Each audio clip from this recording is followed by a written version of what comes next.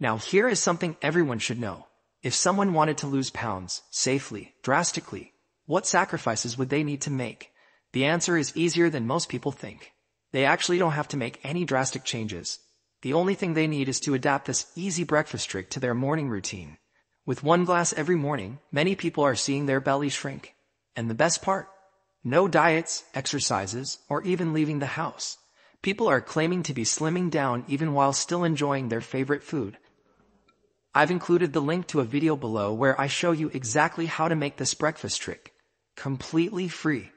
Before you doubt its effectiveness, remember, over 17,000 people have tried it and successfully slimmed down their bellies. Click the Learn More button to watch the video now before Big Pharma takes it down again.